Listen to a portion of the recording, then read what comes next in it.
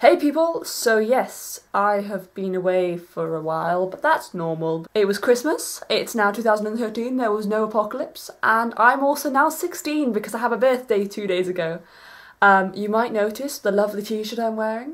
It's a Homestuck t-shirt, I got it for Christmas, I'm extra happy. I've got another video already I put up earlier, which was me and my friends singing and I just want to start making videos again because I have a new camera. I also have a new microphone and microphone stand, so it's all very exciting. I feel much more motivated to actually make videos now. There's loads of songs I want to play, that's so with the microphone I can actually do them and have relatively good quality.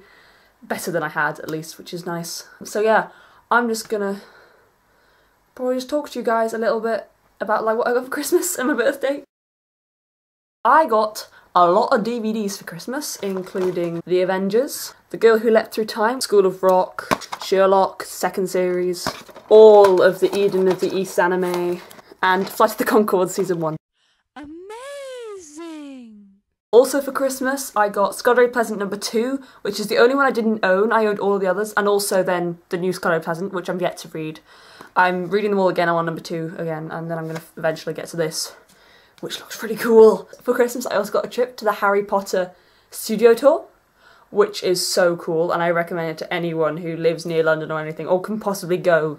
Do go if you can. So I obviously had to get myself a Ravenclaw scarf, and I also got a Ravenclaw tie. Actually, my auntie got me the scarf. For my birthday, I also got a lot of books.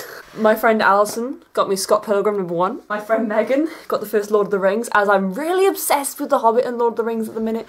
I got Lego Lord of the Rings for Wii as well for Christmas, and I finished the main storyline, and it's really good. I also got these three Sherlocks, which is The Hounds of Baskerville, Study in Scarlet, and The Adventures of Sherlock Holmes. My dad found a special offer for 10 mystery books. We've got Edgar Allan Poe, The Murderer in Rue Morgue, A Famous Sherlock Holmes stories, Bleak House, all that stuff. So hopefully some of them will be quite good. My mum also got me this, which is Lego Harry Potter. Amazing! An Avengers poster from my sister. A Wacom tablet, which is really fun. So yeah, I've wanted one of these for a while. I got a Hobbit poster. At the minute, we have Gandalf the Grey looking lovely there. And yeah, one of my favourite presents, this, which is the full set of the Hitchhiker's Guide to the Galaxy radio series. That's cool. I really want to listen to all these now. So yeah, haven't seen you all for ages. I'm glad to be back. I'm gonna make more videos. Tell me what you got for Christmas in the comments, because I want to talk to you guys again.